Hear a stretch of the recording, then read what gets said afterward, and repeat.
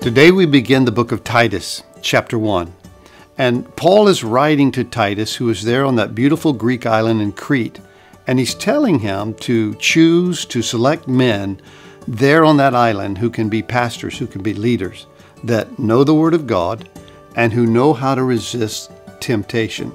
In fact, he gives some very specific qualifications. Listen to what he says. He says, For this reason I left you in Crete that you should set in order the things that are lacking, and appoint elders in every city as I commanded you.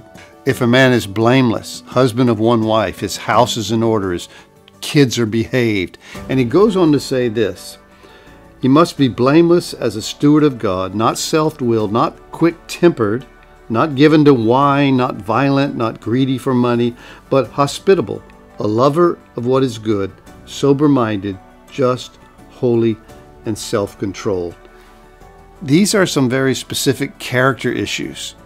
And Paul wants to make sure that those leaders, those pastors, those who are sharing the word, are not sucked into the culture there in Crete that was very party oriented, was very, um, you know, full of all kinds of multiple wives and things like that.